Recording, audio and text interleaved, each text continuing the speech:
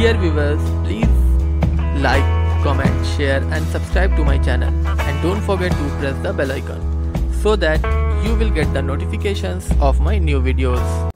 दोस्तों आज की इस वीडियो में हम क्लास ट्वेल्व का पहला चैप्टर रिलेशन पढ़ेंगे क्लास एलेवेंथ में भी हमने रिलेशन का जनरल इंट्रोडक्शन देखा है तो ये जो क्लास ट्वेल्थ है इसमें टाइप्स ऑफ़ रिलेशन आपके सिलेबस में है तो चलिए वीडियो शुरू करते हैं और रिलेशन पढ़ते हैं। देखिए रिलेशन के लिए पहले आपको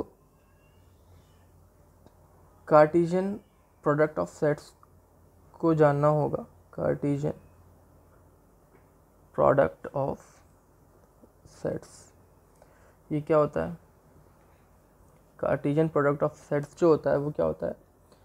Set of all ordered pairs होता है। क्या मतलब? मतलब ये है कि सपोज़ ए अगर कोई सेट है वन जिसमें टू थ्री एलिमेंट्स हैं, और कोई दूसरा सेट बी है, उसमें ए एंड बी दो एलिमेंट हैं, ठीक है? तो set of all ordered pairs इन दोनों का जो कार्टिजन प्रोडक्ट होगा, वो क्या होगा? सेट होगा ऑल ऑर्डर्ड पेयर्स मतलब फ़र्स्ट वाला पहले ए से हो देन फ़र्स्ट वाला बी से हो, ठीक है? देन फ़र्स्ट वाला जब इससे पेयरिंग हो गई है ए से बी से देन सेकंड की हो देन थर्ड की हो, ठीक है? तो ये क्या हो जा रहा है? एक ऑर्डर बनाता है। तो जितने भी पॉसिबल ऑर्डर्ड पेयर होते हैं, वो आपका कार्टिजन प्रोडक्ट होता है। तो ये आपका कार्टिजन प्रोडक्ट हुआ। जिसमें जो पहला वाला है एलिमेंट वो ए के का होता है और दूसरा वाला एलिमेंट बी का है, ठीक है? तो ये कार्टिजन प्रोडक्ट रिलेशन चल रहा है, लेकिन कार्टिजन प्रोडक्ट हम क्यों पढ़ रहे हैं? क्योंकि जो रिलेशन होता है, वो क्या होता है? कार्टिजन प्रोडक्ट जो होता है, उसी का सबसेट होता है। ये सबसेट होता है। और इसको इस तरीके से भी लिखा जा सकता है A R B A R B इसका मतलब ये हुआ a relation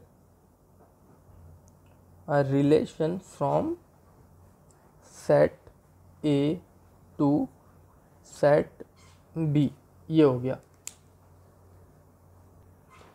तो इसका मतलब ये हो गया कि देखिए रिलेशन जब भी होगा तो दो सेट के बीच ही होगा। तो उन दोनों सेट का जब हम कार्टिजन प्रोडक्ट निकालें और उसमें जो भी एलिमेंट्स आ रहे हैं। ठीक है तो रिलेशन क्या होता है? उनका सबसेट होता है। इसका मतलब ये हुआ कि ए और बी का जो सबसेट ये सारे इसके सबसेट्स हैं। ठीक है? तो इसका जो रिलेशन है, वो इन्हीं में से कोई सबसेट होगा।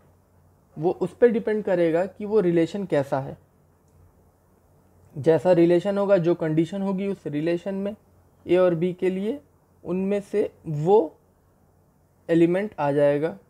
वो ऑर्डर्ड पेयर हो जाएगा, वो उसका रिलेशन कहलाएगा। ठीक है, आगे क्वेश्चन भी देखेंगे तो और क्लियर होगा। इसका मतलब यही था, आप समझिए कि जो रिलेशन होता है वो सबसेट ए क्रॉस बी का होता है। उसका मतलब यही हुआ कि कोई भी दो सेट है, उनके बीच का जो रिलेशन होगा, वो जो कार्टिजन प्रोडक्ट निकला, उसका सबसेट होगा। कौन सा सबसेट होगा, वो रिलेशन पे डिपेंड करेगा। चलिए अच्छा एक चीज़ और जानिए कि अगर ये जो सेट ए है, इसमें एम एलिमेंट्स हैं। ठीक है? और ये जो सेट है बी उसमें एन एलिमेंट्स हैं, ठीक है? तो total number of total number of relations relations from A to B जो होगा वो two to the power m n होगा। ठीक है? इस चीज़ को याद रखिए, कभी क्वेश्चन आ सकते हैं। अगर इस केस के लिए हम देखें तो इसमें ए का जो एलिमेंट है, यानी m is equals to three है, और बी में कितने एलिमेंट हैं? टू है, ठीक है? तो इसमें टोटल नंबर ऑफ़ कितने रिलेशंस हो सकते हैं? Possible relation two to the power m n and three into two two to the power six relations possible हैं इसमें, ठीक है? अच्छा अगर ये रिलेशन है, ठीक है? तो रिलेशन है अगर ये तो इन्वर्स ऑफ़ अ रिलेशन भी होता है। यानी रिलेशन का उल्टा इन्वर्स ऑफ़ अ रिलेशन ये क्या होगा? इन्वर्स ऑफ़ रिलेशन ठीक है? इन्वर्स ऑफ़ रिलेशन में क्या होगा? सपोज़ एक रिलेशन है फ्रॉम ए टू बी ठीक है? तो अगर इसका इन्वर्स रिलेशन हमें पता करना होगा तो ये क्या हो जाएगा? Relation from B to A हो जाएगा। Inverse relation from B to A inverse मतलब उल्टा, जैसा कि आप जानते हैं। तो बहुत इंपॉर्टेंट नहीं है ये। लेकिन जानिए आप, अगर आप रिलेशन पढ़ रहे हैं तो इस चीज़ को भी जानिए। अगर ए बी जो है सपोज़ ये आर रिलेशन को बिलोंग बिलोंग कर रहा है तो जो बी ए होगा वो आर इनवर्स को, यानी इनवर्स ऑफ़ रिलेशन को बिलोंग करेगा, ठीक है? अच्छा ज़्यादातर जो रिलेशंस होंगे आपके सिलेबस में, वो क्या होगा? रिलेशन ए टू बी नहीं होगा, वो ज़्यादातर जो रिलेशन होगा वो क्या होगा? ए का ए के साथ ही होगा, ठीक है? ए का ए के साथ ही रिलेशन होगा, इस टाइप के क्वेश्चंस आएँगे और इसको बोलते हैं relation relation on set A बोला जाएगा, ठीक है? तो चलिए मेन टॉपिक पे आते हैं तो जनरल सा एक स्टार्ट करने से पहले एक इंट्रोडक्शन सा हो गया। मेन जो आपके सिलेबस में है, जो इम्पोर्टेंट है, वो टाइप्स ऑफ़ रिलेशंस है। तो चलिए वो पढ़ते हैं। टाइप्स ऑफ़ रिलेशन में जो पहला रिलेशन है, वो होता है वॉयड या उसी का एक और नाम है एम्प्टी या उसी को हम नल भी कह सकते हैं। नल रिलेशन ठीक है, नाम से ही लग रहा है कि ऐसा रिलेशन जिसमें कोई भी एलिमेंट हो ही नहीं, कोई रिलेशन ही ना हो उन दोनों के बीच में। एम्पटी रिलेशन हो, ठीक है? तो ऐसा रिलेशन क्या होगा? अगर कोई सेट है ए ठीक है? कोई सेट ए है तो उसमें जो रिलेशन हो, उसमें जो रिलेशन आए वो क्या एम्प्टी हो, यानी उसमें कुछ भी रिलेशन ना हो या जो रिलेशन की उन दोनों के बीच जो भी कंडीशन हो, वो मैच नहीं करे और उसमें कोई भी एलिमेंट नहीं आए। ठीक है? तो रिलेशन अगर आपका एम्प्टी आ रहा है तो वो कैसा रिलेशन होगा? नल रिलेशन होगा या एम्प्टी रिलेशन होगा? ठीक है? और जैसा कि रिलेशन क्या होता है? वो कार्टिजन प्रोडक्ट का सबसेट होता है तो इसलिए मैंने ये लिख दिया। चलिए एग्जांपल से देखते हैं। सपोज़ एक सेट है। इसमें element one two three four five five elements हैं। ठीक है? अब एक रिलेशन दे दिया कि रिलेशन में ए बी जो है, वो क्या है? एक रिलेशन है ए बी जिसमें ऐसा है ए बी कि A minus B is equals to twelve हो। इस सेट में रिलेशन ऑन सेट ऐसा है कि जो ए बी हो, ठीक है? उसमें से ए माइनस बी करने पे ट्वेल्व आए। और ये ए बी क्या हो? ये दोनों ए से बिलोंग कर रहा हो। ठीक है? तो अगर आप यहाँ पे ध्यान दें कि इनमें से कोई भी दो नंबर आप ले लें और उनको डिफरेंस आप देखिए तो कभी भी ट्वेल्व नहीं आएगा। फाइव माइनस वन सबसे ज़्यादा इसमें फाइव है, सबसे कम वन है। फाइव माइनस वन फोर ही हो रहा है। Four minus one three two minus five minus two three आ रहा है। तो कोई भी रिलेशन ऐसा आपको नहीं मिलेगा क्योंकि A minus B is not equals to twelve कभी भी ट्वेल्व नहीं होगा वो। ठीक है? तो ये रिलेशन क्या हो जाएगा आपका? एम्प्टी रिलेशन हो जाएगा। यानी इनके बीच कुछ, कोई रिलेशन ही नहीं है। एम्प्टी और वर्ड रिलेशन हो जाएगा। ठीक? इजी था क्लियर हो गया होगा। चलिए सेकंड देखते हैं। यूनिवर्सल दूसरा होता है यूनिवर्सल रिलेशन यूनिवर्सल रिलेशन का मतलब ये हो गया कि कोई भी दो सेट में ऐसा रिलेशन जो उसके सारे सबसेट्स इंक्लूड हो।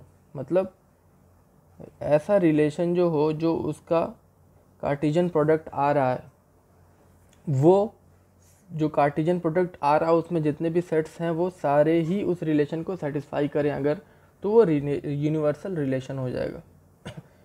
नाम से ही लग रहा है? यूनिवर्सल यानी रिलेशन हो वो पूरा कंबाइन रिलेशन हो। ठीक है? इस तरह से आप आ, समझ सकते हैं कि कोई भी रिलेशन अगर एक दूसरे में नहीं पट रही तो वो तो क्या होगा वो उनके बीच कोई रिलेशन नहीं होगा। वो एम्प्टी रिलेशन कहलाएगा। और बहुत से लोग ऐसे होते हैं कि एक तरह से सोशल होते हैं, उनका रिलेशन सबके साथ होता है। ठीक है? तो वो यूनिवर्सल रिलेशन में आएगा। ठीक है? इसका भी एक एग्ज़ाम्पल ले रहा हूँ। जैसे सेम वाला सेट लेता हूँ। Set A one two three four five ठीक है? ये एक सेट है।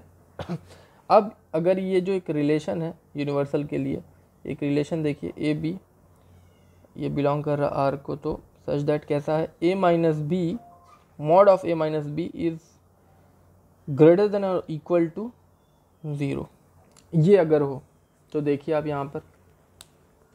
ए माइनस बी का डिफरेंस करेंगे आप, जब भी ए माइनस बी का डिफरेंस करेंगे और उसका मॉड लेंगे। सपोज़ एक मैं यहाँ पे लेता हूँ फाइव ले ले रहा हूँ ए के यहाँ पे और बी के यहाँ पे वन ले ले रहा हूँ, ठीक है? तो इसकी वैल्यू कितनी आ रही है? फोर ये क्या है? ज़ीरो से ग्रेटर है, ठीक है? या टू ले ले रहा हूँ और फाइव ले ले रहा हूँ तो ये कितना आएगा? मॉड है क्योंकि तो थ्री ज़ीरो इसका मतलब ये ऐसा रिलेशन है जो इसके सारे सबसेट्स को क्या कर रहा है? सेटिस्फाई कर रहा है, ठीक है ना?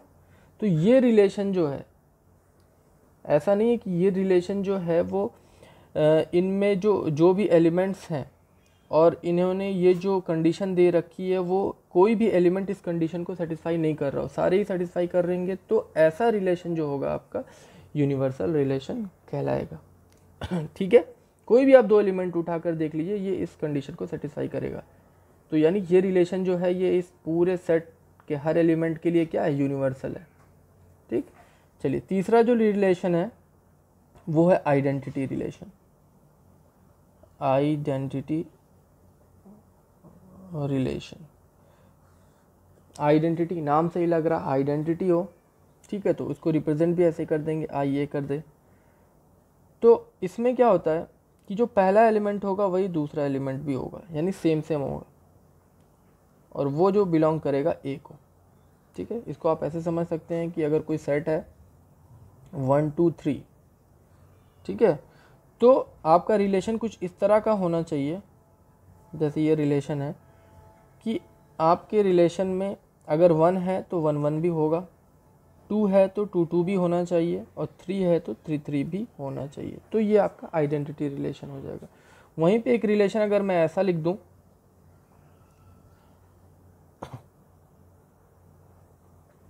टू टू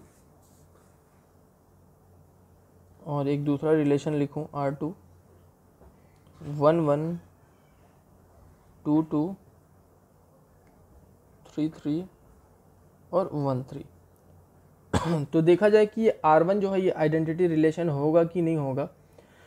चेक करते हैं. तो आइडेंटिटी रिलेशन के लिए वन का है तो वन वन है, ठीक है? टू है तो टू टू है, ठीक है? ये जो पेयरिंग है वो सेम सेम की है.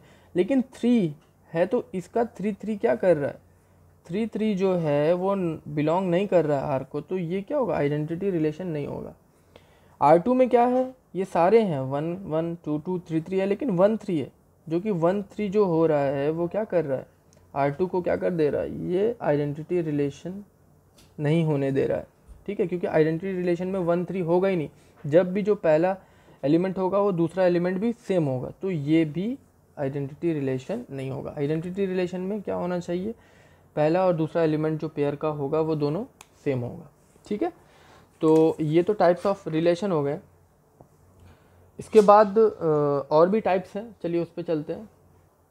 तो जो अगले आपके जो रिलेशंस के टाइप्स हैं, वो हैं reflexive symmetric and transitive relations syllabus के पॉइंट ऑफ़ व्यू से या टाइप ऑफ़ क्वेश्चंस जो आपके बनते हैं, जो बोर्ड में आते हैं, ठीक है? उसके पॉइंट ऑफ़ व्यू से जो रिलेशन में आपको पढ़ना है, वो यही पढ़ना है। जो क्वेश्चंस आएँगे, वो सारे क्वेश्चंस 80-90 परसेंट क्वेश्चन इसी से आएँगे। इन्हीं रिलेशन से आएँगे reflexive symmetric and transitive relation तो जो क्लास ट्वेल्थ में जो रिलेशन रखा गया है, वो इसी के लिए रखा ही गया है, ठीक है? क्योंकि यही पढ़ाना है, क्योंकि इसके पहले का आप बहुत सारी चीज़ें क्लास एलेवेंथ में भी पढ़ चुके हैं। नया जो है, जो न्यू है क्लास ट्वेल्थ में रिलेशन का जो सिलेबस में, वो आपको यही पढ़ना है तो इसको ध्यान से पढ़िएगा। तीन तरह के रिलेशन हैं इंपॉर्टेंट है, इसको ध्यान से देखिए। पहला शुरू करते हैं, पहले जो रिलेशन है, वो है रिफ्लेक्सिव रिलेशन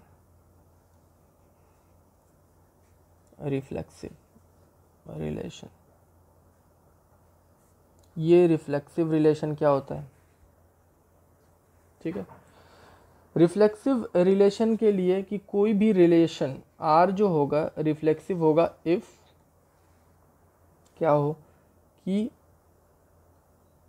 ए ए ये बिलोंग करे आर को। फॉर ऑल ए जो हो, वो ए को बिलोंग करे। ठीक है, क्या मतलब है इसका? मतलब ये होगा कि कोई भी एलिमेंट ए है, जो भी है वो सेट ए में है। तो रिफ्लेक्सिव होने के लिए जो भी एलिमेंट लें, उसका सेम एलिमेंट जैसे आइडेंटिटी में होता था कि जो पहला एलिमेंट हो, वही दूसरा एलिमेंट हो, वो बिलोंग करना चाहिए उस रिलेशन पे। अगर कोई रिलेशन है ऐसा तो वो रिफ्लेक्सिव रिलेशन होगा, ठीक है? इसको जब भी कुछ पढ़े तो हम अगर एग्जांपल देख ले तो क्लियर हो जाता है। इसलिए इसमें भी एक एग्जांपल लेते हैं। सपोज़ ए एक सेट है वन टू थ्री का। ठीक है? अब इसमें मैं दो रिलेशन लिख रहा हूँ। पहला रिलेशन लिख रहा हूँ वन वन जिसमें एलिमेंट्स हैं one one two two three three one three two one ठीक? और ये है आर टू एक और रिलेशन लिख रहा हूँ, ताकि कंपेयर कर सकें आप।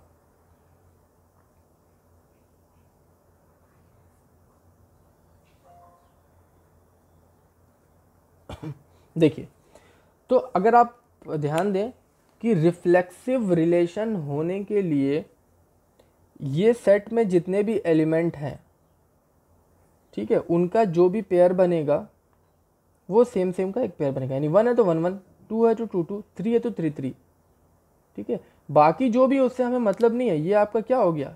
रिफ्लेक्सिव हो गया। ठीक है, यही फ़र्क है रिफ्लेक्सिव और आइडेंटिटी में। क्योंकि आप अभी सोच रहे होंगे कि सेम नोटेशन तो मैंने आइडेंटिटी में भी लिखा है और वही मैं रिफ्लेक्सिव में भी लिख रहा हूँ।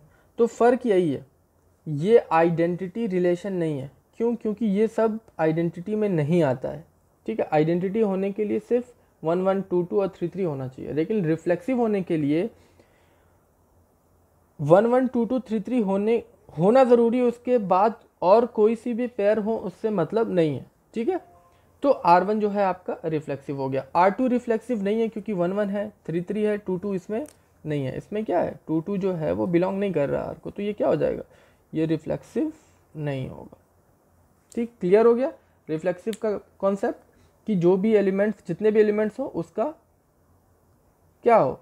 उसका डबल डबल एग्जिस्ट करे उसमें। यानी वन वन वन है तो वन वन टू है टू टू टू थ्री है थ्री बाकी कुछ भी हो उस पर रिफ्लेक्सिव होने पे कोई फ़र्क नहीं पड़ेगा। हाँ आइडेंटिटी होने पे फ़र्क पड़ेगा। आइडेंटिटी के लिए सिर्फ़ और सिर्फ़ वही होने चाहिए, ठीक? पहला रिफ्लेक्सिव हो गया तो दूसरा है सिमेट्रिक सिमेट्रिक देखिए, नाम से भी बहुत सारी चीज़ें क्लियर हो जाती हैं। सिमेट्रिक मतलब क्या होता है? एक मिरर इमेज टाइप का होता है ना सिमेट्री जो होती है लाइन ऑफ़ सिमेट्री हमने पढ़ा है। कि मतलब एक सिमेट्री लाइन ऑफ़ सिमेट्री खींचे तो जैसा इधर है वैसा इधर है। तो सिमेट्रिक रिलेशन भी कुछ ऐसा ही होता है कि अगर सिमेट्रिक रिलेशन के लिए अगर ए बी जो है, वो आर को बिलोंग कर रहा है, ठीक है? तो सिमेट्रिक होने के लिए बी ए बी आर को बिलोंग करना पड़ेगा। और अगर ऐसा हो रहा है तो वो रिलेशन आपका सिमेट्रिक रिलेशन कहलाएगा। यहाँ पर ए बी जो हैं, वो दोनों ही क्या होंगे? ए को बिलोंग करेंगे। ठीक है? मतलब हम जो रिलेशन मैंने बताया ना शुरू के वीडियो में, कि जो रिलेशन हम पढ़ रहे हैं वो क्या होगा? वो सेम सेट का, यानी ए इंटू ए का ही ज़्यादातर पढ़ेंगे अभी हम। ठीक है? मतलब दो सेम सेम सेट्स हैं, उन्हीं के बीच हम रिलेशन पढ़ रहे हैं। ठीक है? तो ये जो ए बी है ए बी है तो ए बी सी अगर इसमें है तो ए बी सी इसमें है। तो ठीक है? तो ये ए बी जो है वो ए में कर रहा है। तो सिमेट्रिक रिलेशन होने के लिए अगर ए बी इसको सेटिस्फाई कर रहा है, वो बिलोंग कर रहा है तो बी ए भी बिलोंग करेगा। इसको भी एक एग्जांपल से देख लें। अच्छा इसको एग्जांपल से देखें कि सपोज़ अगर ए है और इसमें वन टू थ्री फोर इतने एलिमेंट्स हैं, ठीक है? तो इसमें भी एक रिलेशन अगर मैं लिखूं, जिसमें हो one three one four three one और टू टू और फोर वन ठीक है? अब इसमें क्या है? वन थ्री है। ठीक है? तो वन थ्री है तो अगर थ्री वन है तो तो ठीक है। देखिए थ्री वन है। वन थ्री थ्री वन है।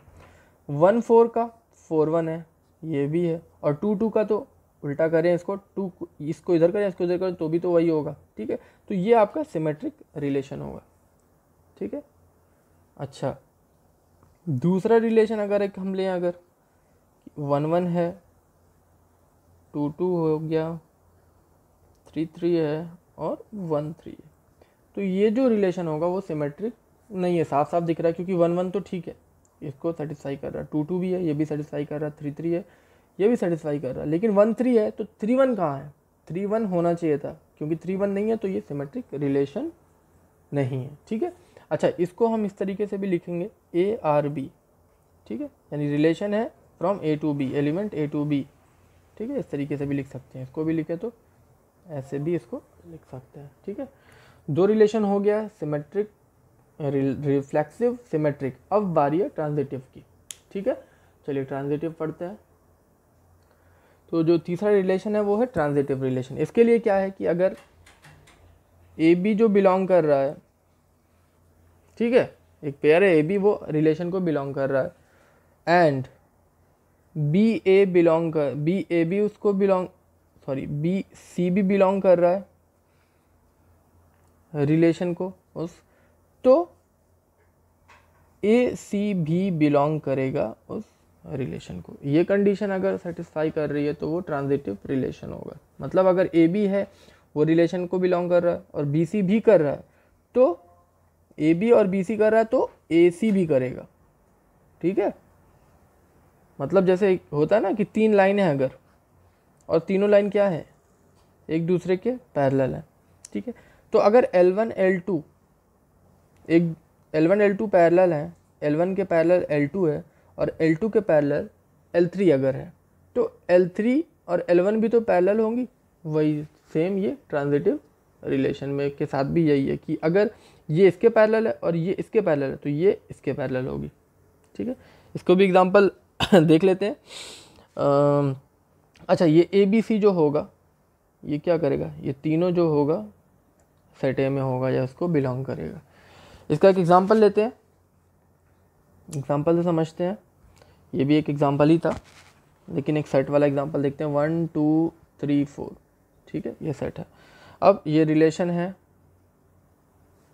One two one three two three two four और थ्री फोर ठीक? तो देखिए वन टू कर रहा है। वन टू है इसमें, इसको बिलोंग कर रहा है इस रिलेशन में, और टू थ्री भी है। तो वन टू है और टू थ्री है। तो वन थ्री भी होना चाहिए। वन टू जब टू थ्री तो वन थ्री भी है यहाँ पर। ठीक है? और देख लीजिए।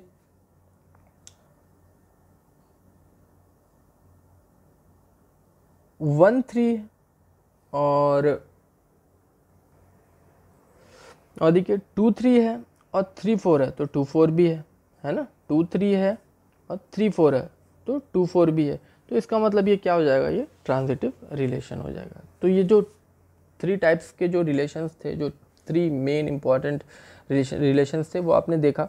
ट्रांजिट पहला रिफ्लेक्सिव सिमेट्रिक और ट्रांजिटिव रिलेशन ठीक है? अब इस पर क्वेश्चन देखेंगे, लेकिन उससे पहले एक रिलेशन और रह जाता है। उतना इंपॉर्टेंट तो नहीं है, लेकिन आप इसको जानिए anti symmetric anti symmetric relation होता है। ये सिमेट्रिक रिलेशन की तरह ही होता है, लेकिन उसका एंटी होता है, ठीक है? मतलब ये कहेगा कि ए बी अगर आर को रिलेशन में है बिलोंग कर रहा है एंड बी ए भी कर रहा है रिलेशन को बिलोंग तो वो A is equals to B होगा, ये रिलेशन होता है, ठीक है? इसको अगर आपको समझना है तो सपोज़ एक रिलेशन अगर है एक्स और वाई में, वो एक्स ऐसा है कि एक्स जो है, वो डिवाइड्स वाई ठीक है? और वाई इज़ ऑल्सो या वाई ऑल्सो डिवाइड्स एक्स तो ये कब पॉसिबल है? ये तभी पॉसिबल है जब X is equals to Y होगा। क्यों? क्योंकि सपोज़ अगर एक्स डिवाइड कर रहा है वाई को, यानी टू डिवाइड कर रहा है फोर को, ठीक है?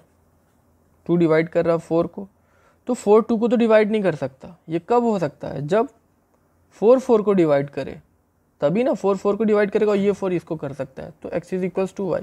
तो ये एंटी सेमेट्रिक रिलेशन हो गया, ठीक है? तो तीनों रिलेशन हमने पढ़ा उस पर पहले क्वेश्चन देख लेते हैं, उसके बाद एक दो और रिलेशन है, वो पढ़ेंगे, ठीक है? तो चलिए क्वेश्चन पे चलते हैं। तो उन तीनों रिलेशन पे एक क्वेश्चन मैंने लिया है अभी। ये C B S E board में ये 2009 यानी पिछले साल ही आया है। ये क्या कह रहा है? Show that the relation R on R defined as यानी रिलेशन रियल नंबर का है। और वो रिलेशन कैसा है? कि ए बी ऐसा है कि ए इज़ इक्वल टू और less than B is reflexive and transitive but not symmetric ये हमें शो करना है कि ये जो रिलेशन है रियल नंबर पे सेट ऑफ़ रियल नंबर्स पे, वो रिफ्लेक्सिव और ट्रांजिटिव तो है, पर सिमेट्रिक नहीं है। ठीक है? चलिए देखते हैं। सबसे पहले देखते हैं रिफ्लेक्सिव के बारे में एक एक करके सबको चेक कर लेंगे। तो रिफ्लेक्सिव होने के लिए सबसे पहले आपको क्या होना चाहिए कि ए ए जो हो, वो, यानी उसका जो सेम डबलेट कह सकते हैं, जो डबल पेयर में हो, वो उस रिलेशन में होना चाहिए। ठीक है? तो इसके हिसाब से देखते हैं। इसके हिसाब से ये है कि ए जो है, वो बी के इक्वल भी है और उससे क्या है? छोटा है। है ना? क्या कहने का मतलब? क्योंकि ये रियल नंबर है। तो आप इधर देखें अगर ध्यान से कि ये वन वन हो सकता है वन टू हो सकता है। ठीक है? टू टू भी हो सकता है टू थ्री भी हो सकता है। ध्यान से समझिएगा इसको, इसका मतलब। ठीक है? थ्री थ्री भी हो सकता है थ्री फोर भी हो सकता है। है ना? तो जब आपको ये ऐसा सेट मिल रहा है, ठीक है ना? ऐसा सेट मिल रहा है जिसमें उसका सेम पेयर एग्जिस्ट कर रहा है। देखिए, वन वन भी हो रहा है, टू टू भी हो रहा है, थ्री थ्री हो रहा है, इसी तरीके से फोर फोर भी होगा, फाइव फाइव भी होगा। बाकी सब जो भी हो, जैसा कि मैंने आपको बताया रिफ्लेक्सिव में वो मैटर नहीं करता। लेकिन जो एलिमेंट पहला है उस पेयर का, वो सेकंड वाला भी एलिमेंट वही सेम होना चाहिए, वो एग्जिस्ट करना चाहिए, ठीक है? तो वो आपको देख, आप देख रहे हैं कि वो है और आगे भी इस तरह से रहेगा। तो इसका मतलब क्या है कि ये जो है आपका, ये रिलेशन तो रिफ्लेक्सिव हो गया। कि क्या हो गया? R is a reflexive relation ठीक है? रिफ्लेक्सिव हो गया तो बारी आई सिमेट्री की। सिमेट्रिक रिलेशन है कि नहीं? तो सिमेट्रिक के लिए अगर ए बी है बिलोंग कर रहा है तो आपका बी ए भी रिलेशन को बिलोंग करना चाहिए। ये चेक करते हैं। तो फिर मैं यहाँ पे आऊँगा आपको। कि ये जो रिलेशन है वन वन तो है, ठीक है? वन टू भी हो सकता है, लेकिन कभी भी टू वन नहीं हो सकता। क्यों? क्योंकि ए जो है, वो हमेशा जो बी से क्या होगा? छोटा होगा। ए बड़ा नहीं होगा, लेकिन यहाँ पे ए बड़ा हो जा रहा। और सिमेट्रिक होने के लिए टू वन होना ज़रूरी है, जो कि कभी नहीं हो सकता, है ना? ये तो इसमें कभी हो ही नहीं सकता। इसी तरीके से वन थ्री हो सकता है, लेकिन थ्री वन नहीं हो सकता, क्योंकि ये इस कंडीशन को सेटिस्फाई नहीं करेगा। टू थ्री हो सकता है, लेकिन थ्री टू नहीं होगा। तो इसका मतलब यही हुआ कि जब ये नहीं होगा तो भाई ये सिमेट्रिक भी नहीं होगा। तो ये क्या होगा? R is not a symmetric relation ये सिमेट्रिक रिलेशन नहीं है। रिफ्लेक्सिव सिमेट्री हो गया। अब ट्रांजिटिव की बारी है। ट्रांजिटिव भी देख लेते हैं। ट्रांजिटिव के लिए क्या है? ए बी अगर बिलोंग कर रहा है आर को एंड बी सी बिलोंग कर रहा आर को तो आपका ए सी जो है वो बिलोंग करना चाहिए आर को। यही है ना? चलिए इसमें करके देखते हैं कि ये ऐसा पॉसिबल है कि नहीं है। देखते हैं एग्जांपल से। Suppose three is equal to and greater than four suppose या ग्रेटर देन ही मान लीजिए। ठीक है? और फोर ग्रेटर है फाइव से। ठीक है? इक्वल टू तो नहीं लगा सकते। तो अगर थ्री फोर से बड़ा और फोर फाइव से बड़ा है तो ऑब्वियसली थ्री जो है वो फाइव से बड़ा होगा। सॉरी थ्री जो है वो फाइव से छोटा होगा। अगर थ्री जो है थ्री से बड़ा अगर फोर है और फोर से बड़ा अगर फाइव है तो ऑब्वियसली जो है थ्री से फाइव क्या होगा? बड़ा होगा। ठीक है? तो इसका मतलब क्या है? ये जो रिलेशन है वो ट्रांजिटिव है। समझ में आया कि नहीं आया? इक्वल टू भी ले सकते हैं, क्योंकि ये दोनों कंडीशन दी हुई है। ठीक है? ये तो दो कंडीशन हो सकती है ना? या तो इक्वल हो दोनों ले ले रहा हूँ ताकि आपको और क्लियर हो जाए। अगर थ्री फोर की इक्वल है और फोर फाइव की इक्वल है तो थ्री भी तो फाइव की इक्वल होगा, है ना? इससे भी ये चीज़ प्रूफ हो रही है और इससे भी देखिए, अगर थ्री फोर से फोर बड़ा है और यहाँ पे फाइव बड़ा है थ्री से बड़ा फोर है फोर से बड़ा फाइव है तो ऑब्वियसली थ्री जो है वो क्या होगा? फाइव से छोटा हो गया फाइव से बड़ा होगा। मतलब थ्री है और ये फोर है और ये फाइव है। थ्री से बड़ा फोर है और फोर से बड़ा फाइव है तो थ्री से बड़ा फाइव भी तो होगा, ठीक है? तो ये क्या हो जाएगा? R is a transitive relation देखिए रिलेशन फ़ंक्शन इस तरह के ये जो क्वेश्चंस मैथ्स के टॉपिक हैं, इसमें बहुत ज़्यादा कैलकुलेशन नहीं होता। आपको बस थिंक करना होगा, सोचना होगा, और सोच के आपको उसमें रिज़ल्ट देना होता है। बाकी सब हमने जो पढ़े हैं मैट्रिक्स डिटर्मिनेंट इसमें बहुत सारी चीज़ें क्या होती हैं? वर्क करना पड़ता है, लिखना पड़ता है, ठीक है? और एक स्टेप पे चलना होता है। लेकिन ये जो आपका होता है रिलेशन फ़ंक्शन सेट्स ये सारे जो हो गए, इसमें ज़्यादातर आपको सोच कर रिज़ल्ट बताना होगा, ठीक है? आपको बहुत ज़्यादा स्टेप्स फॉलो नहीं करने होते हैं। तो आपने देखा कि जो पिछले साल बोर्ड में आया है, वो कितना इजी क्वेश्चन था। उसमें हमें ये प्रूफ करना था कि रिफ्लेक्सिव और ट्रांजिटिव तो है, लेकिन सिमेट्रिक नहीं है। तो हमने यहाँ पे देख लिया रिफ्लेक्सिव भी है ट्रांजिटिव भी है, लेकिन सिमेट्रिक नहीं है। ज़्यादातर क्वेश्चन आपके इसी तरह के होंगे, ठीक है? चलिए, आगे बढ़ते हैं वीडियो में। अगला जो रिलेशन है, वो इक्विवेलेंस रिलेशन है। बहुत ज़्यादा नहीं, यही लास्ट रिलेशन है, ठीक है? तो ये इक्विवेलेंस रिलेशन क्या होगा? ये भी बहुत इजी है और बहुत इंपॉर्टेंट है। इक्विवेलेंस रिलेशन कोई भी रिलेशन इक्विवेलेंस तभी होगा जब वो इन तीनों रिलेशन जो तीनों रिलेशन को सेटिस्फाई करेगा या तीनों रिलेशंस होंगे, ठीक है? कौन कौन से? जो हमने पढ़े पहला पहला क्या था? रिफ्लेक्सिव सेकंड सिमेट्रिक और थर्ड वन ट्रांजिटिव यानी अगर हमें चेक करना है कि कोई भी रिलेशन इक्विवेलेंस है कि नहीं है तो हम चेक करेंगे सबसे पहले रिफ्लेक्सिव सिमेट्रिक देन ट्रांजिटिव अगर रिफ्लेक्सिव भी है वो रिलेशन सिमेट्रिक भी है और ट्रांजिटिव भी है then the relation is equivalence ठीक है? Then and only then the relation will be equivalence यानी तीनों रिलेशन होना ज़रूरी है। अगर तीनों में से कोई भी एक रिलेशन कोई भी रिलेशन अगर सिमेट्री नहीं हुआ रिफ्लेक्सिव और ट्रांजिटिव है तो वो इक्विवेलेंस नहीं होगा, जैसा कि हमने पिछले क्वेश्चन में देखा था। ठीक है? चलिए, इस पर भी एक क्वेश्चन देखते हैं। क्वेश्चन सॉल्व करते हैं इसको समझने के लिए। एक एग्जांपल ले रहा हूँ मैं। ठीक है? चलिए let R be a relation.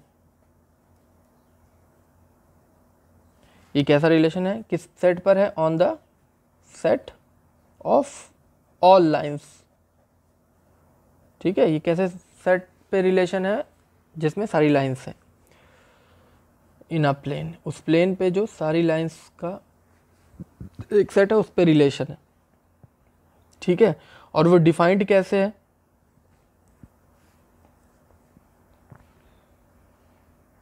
Defined by defined by L one L two जो है वो रिलेशन को बिलोंग कर रहा है that is line L one is parallel to line L two ठीक है? तो अब हमें क्या करना है कि show that show that R is an equivalence equivalence relation ठीक है? कैसे शो करेंगे? देखते हैं.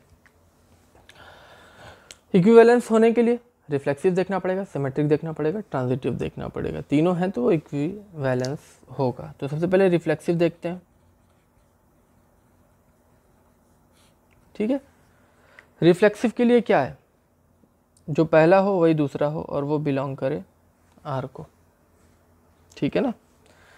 तो ये जो सेट है, उसमें क्या है? लाइंस हैं और वो लाइंस कैसी हैं? पैरेलल हैं लाइंस ठीक है? तो अगर आप देखिए, एक लाइन सपोज़ एल वन है, एक लाइन एल टू हो गई एल थ्री हो गई तो जब पैरेलल लाइंस की बात आ रही है तो कोई भी लाइन खुद की भी पैरेलल होती है। है ना? ये लाइन खुद की भी पैरेलल होती है। एल टू के लिए भी खुद की पैरेलल होगी। कहने का मतलब ये कि एल वन एल टू ये भी L one L one L two L two L three L three ये क्या होगा? ये इसमें एग्जिस्ट करेगा। क्यों? क्योंकि हर लाइन अपनी पैरेलल होती है। तो ये क्या हो गया? ये आपका रिफ्लेक्सिव है। दूसरी बात सिमेट्री सिमेट्रिक के लिए क्या होगा? अगर L1 L2 R को बिलोंग कर रहा है यानी L1 L2 पैरेलल है ए, तो क्या होगा? L2 L1 भी R को बिलोंग करेगा। ये सेम उसी तरीके से है कि अगर L1 L2 के पैरेलल है तो ऑब्वियसली L2 भी L1 के पैरेलल होगा। तो ये सिमेट्रिक भी हुआ। नेक्स्ट वन ट्रांजिटिव ट्रांजिटिव के लिए अगर तीन लाइन ले लें L1 L2 को बिलोंग कर रहा है L2 L3 को बिलोंग कर रहा है तो L1 L3 को बिलोंग करेगा। तो ये मैंने एक एग्जांपल भी लिया था। उसी से है कि अगर L1 L2 के पैरेलल है L2 L3 के पैरेलल है तो ऑटोमेटिकली L1 जो है वो L3 के पैरेलल होगा। तो ये ट्रांजिटिव भी हो गया। तो क्योंकि ये relation reflexive symmetric as well as transitive है इसलिए आ, हम कह सकते हैं hence hence R is an equivalence relation. ठीक है? ये समझाने के लिए मैंने एक क्वेश्चन ले लिया था। चलिए आगे बढ़ते हैं वीडियो में।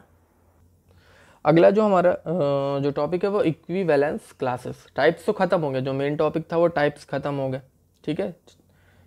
आ, हमने पढ़ा रिफ्लेक्सिव सिमेट्रिक ट्रांजिटिव और ये तीनों रहा था इक्विवेलेंस रिलेशन वो ख़त्म हो गया बस एक लास्ट टॉपिक है ये इक्विवेलेंस क्लासेस क्या होता है? ठीक है? तो इसको आप इस तरीके से समझिए। वैसे तो मैं आपको इसको क्वेश्चन से समझाने वाला हूँ कि क्वेश्चन से ये इक्विवेलेंस क्लास क्या होता है। आप पहले नॉर्मल समझिए कि आ, ये है क्या? ये अगर कोई रिलेशन इक्विवेलेंस है सबसे पहले तो कोई भी रिलेशन आर है ठीक है? और ये आपका, आपने इसको प्रूव कर लिया या देख लिया कि ये क्या है? इक्विवेलेंस रिलेशन है। ठीक है? इक्विवेलेंस अगर आर रिलेशन हो गया इक्विवेलेंस तो हम इस रिलेशन को क्लासेस में बांट सकते हैं। ठीक है? इसको हम क्या कर सकते हैं? क्लासेस में डिवाइड कर सकते हैं। पर जो क्लासेस होंगी, जो हम जिन क्लासेस में इसको बांटेंगे, वो आपस में क्या होंगे? डिसजॉइंट होंगे। तो डिसजॉइंट मतलब आपको मालूम होना चाहिए कि उन दोनों में कोई कॉमन ना हो। मतलब दो अगर सेट्स हैं, ठीक है, और वो डिसजॉइंट हुए तो उन दोनों का जो इंटरसेक्शन होता है वो फाइव होता है। यानी दोनों में कुछ भी कॉमन ना हो। आप इसको इसी तरीके से समझ लीजिए कि एक बड़ा स्कूल है, ठीक है, उसमें बॉयज़ भी हैं गर्ल्स भी हैं। तो अगर हम क्या करें? बॉयज़ की एक अलग क्लास बना दें, गर्ल की अलग क्लास बना दें, ठीक है? तो वो क्या होंगे? वो दोनों क्लासेस आपस में कुछ कॉमन तो होगा नहीं, इसमें सिर्फ़ बॉयज़ होंगे, इसमें सिर्फ़ गर्ल्स होंगी, ठीक है? लेकिन इसको हमने निकाला कहाँ से? स्कूल से ही अलग किया हुआ है। इसी तरीके से रिलेशंस में अगर हम क्लास बना दें, ठीक है? और वो क्लास की शर्त ये है कि वो आपस में डिसजॉइंट हो, दोनों में कुछ कॉमन ना हो तो ऐसे क्लासेस को इक्विवेलेंस क्लासेस कहते हैं, ठीक है? मैं एक एग्ज़ाम्पल लूँगा। अभी एग्ज़ाम्पल से समझा रहा हूँ। उसको ध्यान से देखिएगा, क्योंकि अच्छा है ये। अच्छा टॉपिक है और ज़्यादातर लोग इसमें कंफ्यूज रहते हैं कि इक्विवेलेंस क्लास क्या है। बहुत ही आसानी से समझाऊँगा। चलिए। एक एग्जांपल है सपोज़ एक सेट है A zero one two three four ठीक है? और इसका रिलेशन दे रखा है। ए बी एक ऐसा पेयर है जिसमें two divides two divides a minus b ठीक है? और ये रिलेशन जो है, ये इक्विवेलेंस है।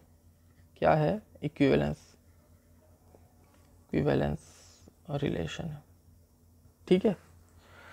अब, अगर ये इक्विवेलेंस रिलेशन है, ठीक है तो क्या होगा? हमारा रिफ्लेक्सिव सिमेट्रिक एंड ट्रांजिटिव होगा। ठीक है, तभी वो रिफ्लेक्सिव सॉरी तभी वो इक्विवेलेंस रिलेशन होगा। ठीक है?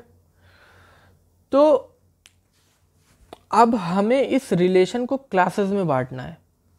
ठीक है? अब अगर आप देखिए ए माइनस बी जो है वो टू से डिवाइड हो रहा है। ए माइनस बी जो है वो टू से डिवाइड हो रहा है। इसका मतलब क्या हो गया? इसमें कोई भी दो नंबर लीजिए जो टू से डिवाइड हो। ठीक है? तो मैं आपको एक दिखाता हूँ। कोई भी दो नंबर। जैसे ज़ीरो और टू को ले लिया मैंने। ठीक है? देखिए।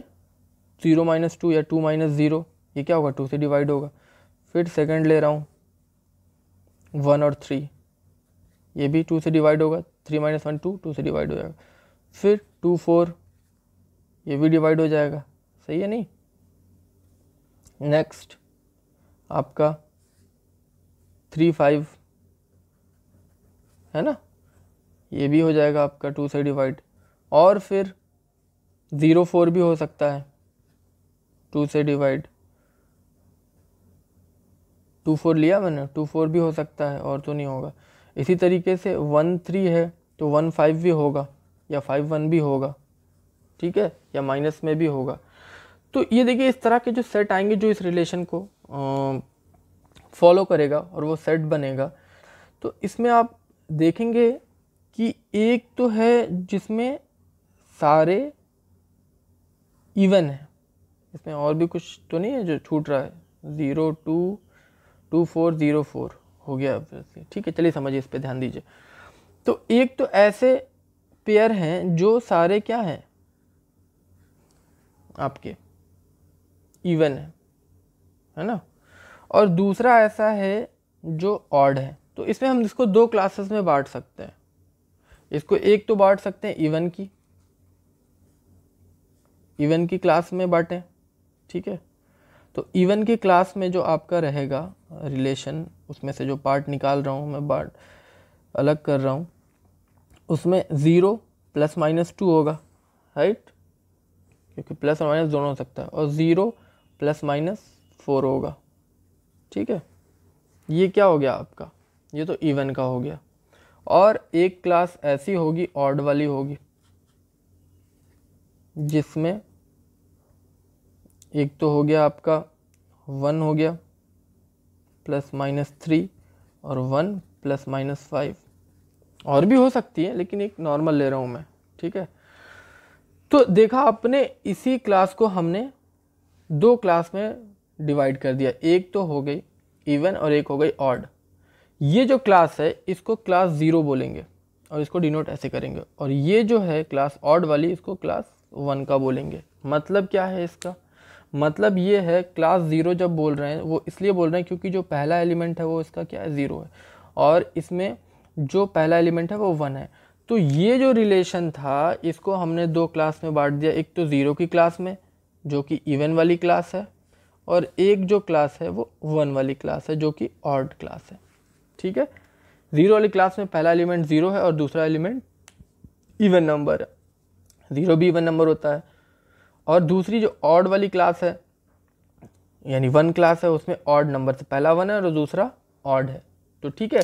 तो इस क्लास में आपके कौन कौन से एलिमेंट हो गए?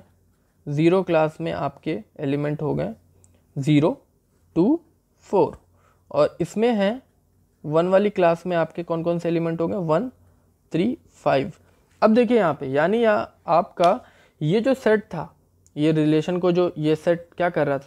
सेटिस्फाई कर रहा था इक्विवेलेंस रिलेशन था ये। इस सेट को, यानी इस स्कूल को दो क्लासेस में बांट दिया, ठीक है ना?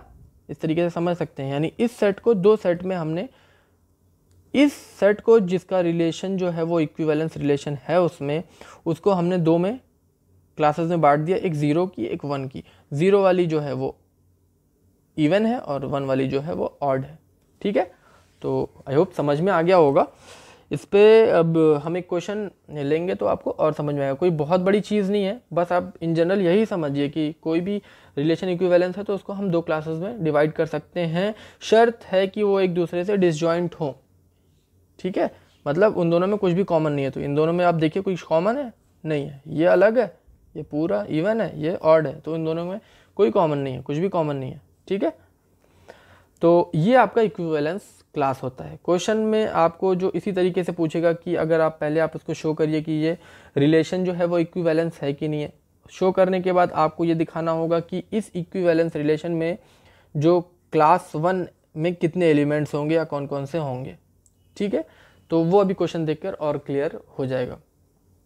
आई होप कि ये क्लियर हो गया होगा जिसमें ज़्यादा परेशान होने की ज़रूरत नहीं। क्लास क्वेश्चन देखिए कैसा आता है। देखिए, एक बहुत ही इंपॉर्टेंट क्वेश्चन मैंने लिया हुआ है, जो कि बोर्ड में टेन में भी आया है एटीन में भी आया है और नाइनटीन में भी आया है। यानी काफ़ी पूछा जा रहा है इस पैटर्न पे जो क्वेश्चन इस टाइप के क्वेश्चन बोर्ड में बहुत ज़्यादा पूछे जा रहे हैं। क्योंकि इसमें क्या हो रहा है कि जो टाइप्स ऑफ़ रिलेशन है, जो ट्वेल्व का जो सिलेबस है टाइप्स ऑफ़ रिलेशन वो सब कवर हो जा रहा है इसमें। इक्विवेलेंस रिलेशन में आपका रिफ्लेक्सिव, सिमेट्रिक, ट्रांजिटिव कवर हो जा रहा है, क्योंकि इक्विवेलेंस होने के लिए तीनों होना पड़ रहा और उसके बाद इक्विवेलेंस क्लास भी आ जा रहा है इसमें। तो ये बहुत इंपॉर्टेंट क्वेश्चन है, इसको ध्यान से देखिए, खुद भी लगाइएगा इसको, और इस तरह के क्वेश्चन ढूंढ ढूंढ के सॉल्व कीजिएगा, ताकि इस तरह के क्वेश्चन जो कि बार बार पूछे जा रहे हैं, आपका पूरी तरह से कंप्लीट हो जाए। देखिए, एक रिलेशन है, हमें क्या करना है कि ये जो रिलेशन है सेट ए पर, वो इस ऐसा है कि जो ए बी ऐसा है कि ए माइनस बी का जो मॉड है वो मल्टीपल ऑफ़ फोर है। ठीक है?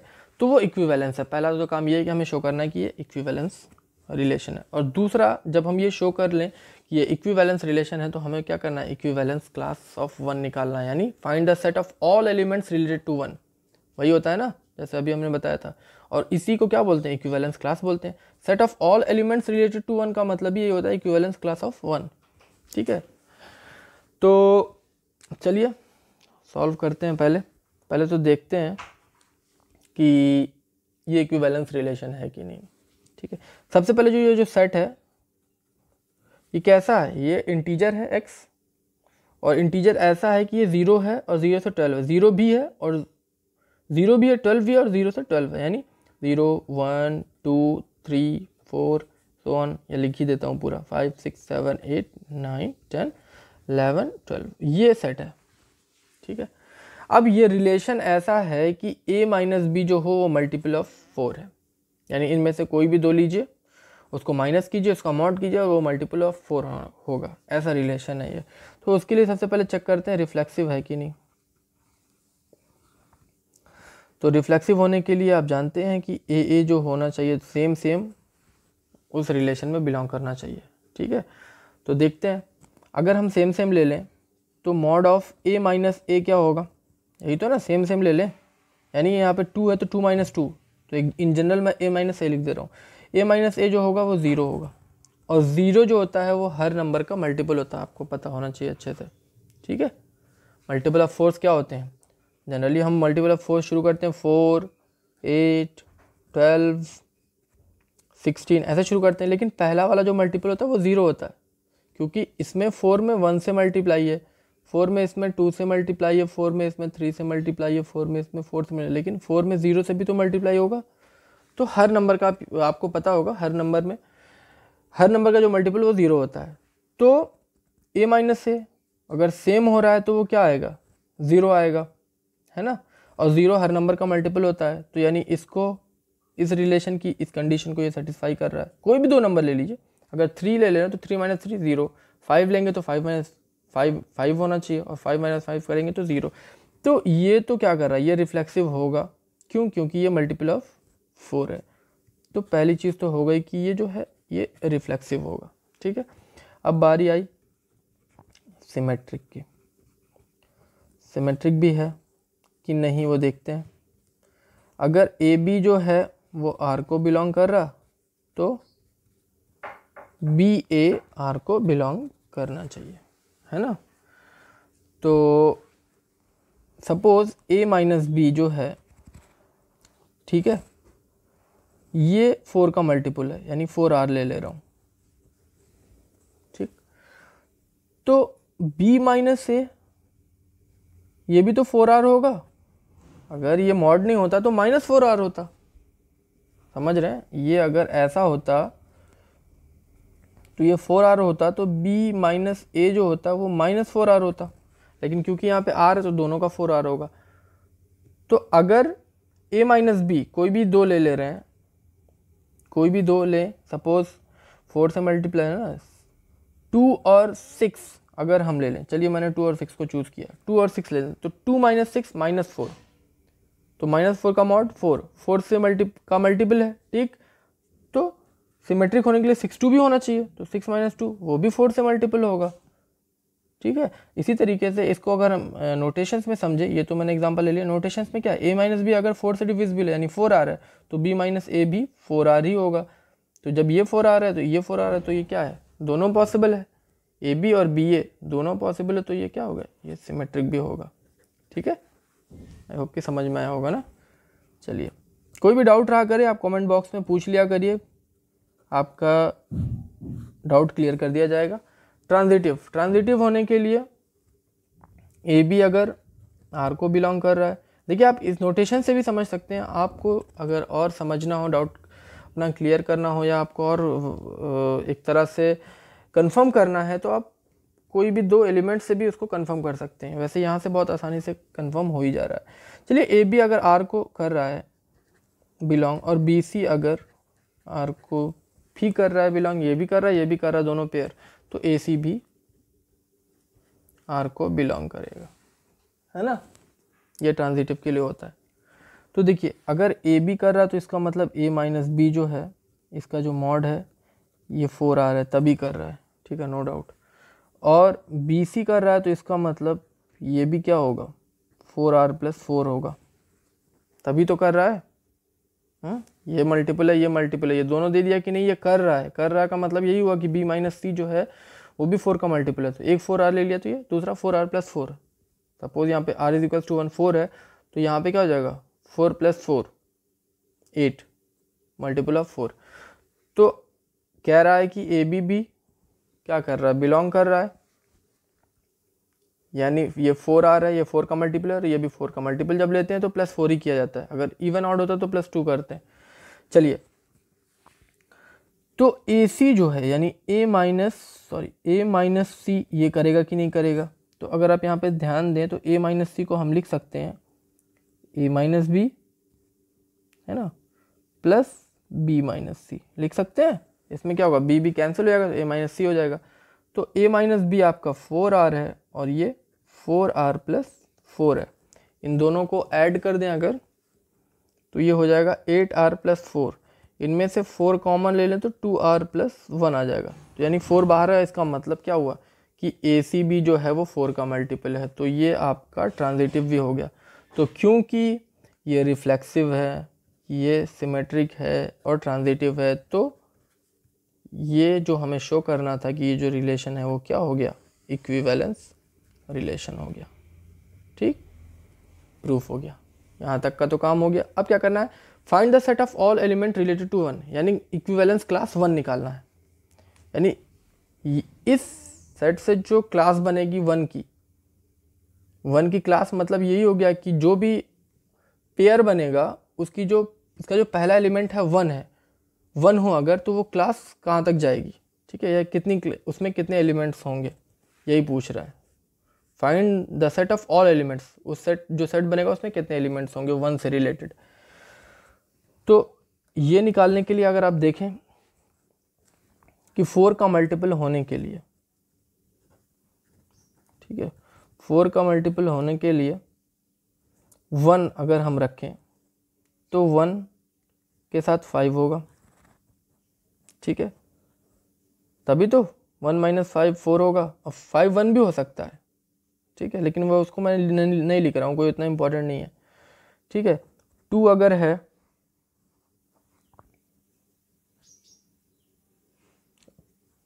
टू है तो सिक्स होगा, ठीक है, लेकिन वो उस क्लास का नहीं हुआ, क्योंकि यहाँ पर हमेशा क्या होना चाहिए वन होना चाहिए क्लास के लिए, पहला एलिमेंट तो वन के लिए फाइव और वन नाइन तभी तो वन माइनस नाइन एट होगा, और वन के साथ यहाँ पर नाइन हो गया टेन लेंगे तो नाइन एलेवन लेंगे तो eleven minus one ten, twelve minus one eleven ये नहीं होगा। यानी सिर्फ़ इतना ही होगा वन क्लास का। आप समझ रहे हैं? इसमें मैं यहाँ पे फाइव वन भी लिख सकता था, है ना? लेकिन फाइव वन नहीं लिख रहा हूँ। क्यों? क्योंकि क्लास आपकी वन की क्लास है और वन की क्लास में पहला एलिमेंट जो होना चाहिए, वन होना चाहिए। इसी तरीके से इसमें मैं टू सिक्स भी लिख सकता था, क्योंकि टू माइनस सिक्स फोर होगा, वो भी फोर का मल्टीपल होगा। ठीक है? लेकिन इसको भी मैं नहीं लिख सकता। क्यों? क्योंकि ये क्लास वन की है और वन के लिए पहला एलिमेंट वन होगा। तो ये भी नहीं लिखूँगा। तो इस तरीके से देखा जाए तो इसमें सिर्फ़ और सिर्फ़ कितने हो रहे हैं? वन के साथ फाइव आ रहा है और वन के साथ नाइन आ रहा तो इसका मतलब इसमें कौन कौन से एलिमेंट होंगे? एक तो वन होगा वन क्लास में, दूसरा फाइव होगा और तीसरा नाइन होगा। ठीक है? वन मैंने इसलिए भी लिखा क्योंकि ये वन वन भी तो होगा इसमें। वन माइनस वन ज़ीरो, वो भी तो फोर का मल्टीपल होता है। तो इसमें आप वन वन भी लिख सकते हैं, ठीक है? तो इस हिसाब से जो क्लास वन में जो सेट बनेगा, उसमें कौन कौन से एलिमेंट होंगे? वन, फाइव, नाइन होंगे। क्लियर? आई होप कि समझ में आया होगा और आपको वीडियो भी पसंद आई होगी। अब आप, आपके पास जो भी बुक है, चाहे आपके पास एन की बुक हो या आपके पास आर डी शर्मा हो, आप इस वीडियो को देखने के बाद सबसे पहले तो इसमें जो जो क्वेश्चंस लिए, बहुत इंपॉर्टेंट लिए, उसको अपने से खुद से भी सॉल्व कीजिए और सारे एक्सरसाइजेज आप सॉल्व करना शुरू कर दीजिए। आई होप कि आपको, आप सारी एक्सरसाइज कर ले जाएँगे और कुछ भी आपको डाउट अगर हो तो आप मेरे कमेंट बॉक्स में पूछिएगा। तो इस वीडियो को आपने देख लिया है। अब मैं हर बार की तरह आपके लिए क्वेश्चन फॉर यू में कुछ क्वेश्चंस लेके आया हूँ। ये वीडियो देखिए और क्वेश्चन फॉर यू के जो एक दो क्वेश्चंस हैं, वो सॉल्व कर लीजिए और उसके बाद आप अपनी बुक जो भी बुक आप प्रीफर करते हैं, आपके पास जो भी बुक है, उससे एक्सरसाइज सॉल्व कीजिए। तो आपका ये जो रिलेशन है, वो पूरा कंप्लीट हो जाएगा, ठीक है? तो चलिए चलते हैं क्वेश्चन फॉर यू पे।